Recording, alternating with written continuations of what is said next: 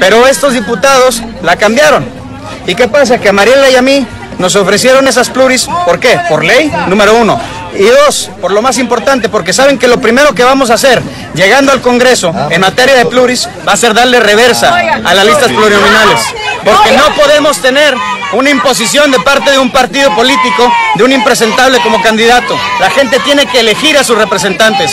Y por eso Mariela y yo vamos a hacer eso cuando lleguemos al Congreso, después de que seamos electos este primero de julio. Oigan, Ok, entonces oigan, van de pluris los dos. Oigan, nos pusieron de pluris porque somos los mejores de MC. son los mejores de MC. Oigan, la mejor candidata bueno. de MC. Échale ganas. Compitiendo con Poncho. Compitiendo, no, conmigo no compito porque, pues obviamente ni hacen campaña, nada más vienen aquí a los mercados. Vamos a echarle. Vamos a echarle te- Mariela, pues es fresa, es de silla.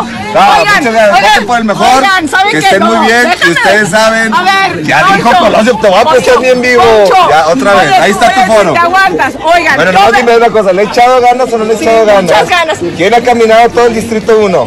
Mariela. No, no, no te he visto, Mariela. no te he visto caminando, no te he visto, nomás vienen a los mercados. No, no, no. A ver. No te he visto caminando, bueno.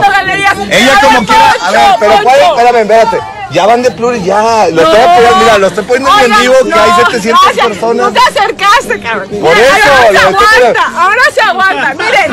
Vamos no a echarle todas las ganas, eh, esperemos ganar y entrar al Congreso. Saludos a todos, los quiero mucho, Eh,